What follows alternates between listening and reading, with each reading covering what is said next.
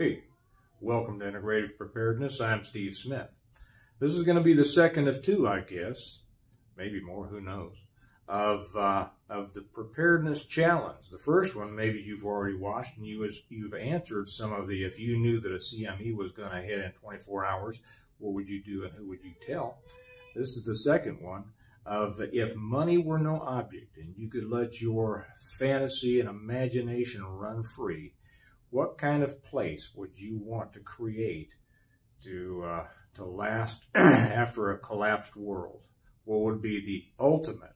I won't say bug out location. What would the ultimate living situation be? What would you construct?